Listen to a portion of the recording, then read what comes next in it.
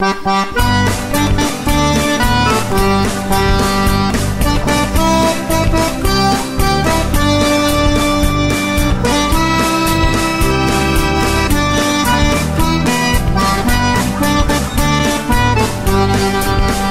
was a beautiful September morning. Now everyone remembers that date. Trade Center worker William Rodriguez was lucky to be coming in late. He'd been clocking into his janitor job for 20 long years, don't you know? He'd even survived the 93 basement bombing that injured a thousand or so. As he walked into the maintenance office, right down there on sub level one, his buddy Felipe stormed in the room screaming.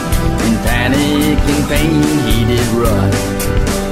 When a fiery blast from the elevator shaft burned the skin off his face and his arms. Felipe was screaming, explosion, explosion. Then came the sound of alarms.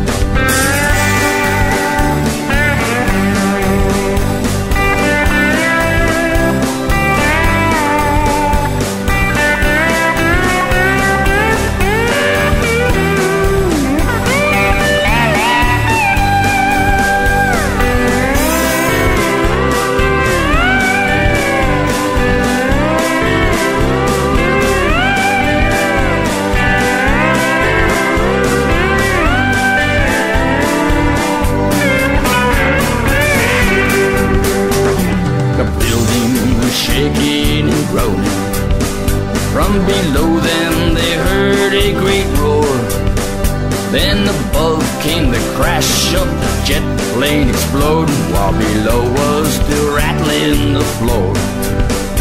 So Willie led Felipe out before the tower fell. Went back down and rescued some more. Then he went in again and ran up the stairwell. Heard a series of blasts in the core. Saving lives made him praised for his bravery. NBC sent a film crew to his home for an interview, but they didn't put his story on TV. Testified the 9/11 Commission on the truth he would not compromise. Then his story, like others, went the way of omission, cause it contradicted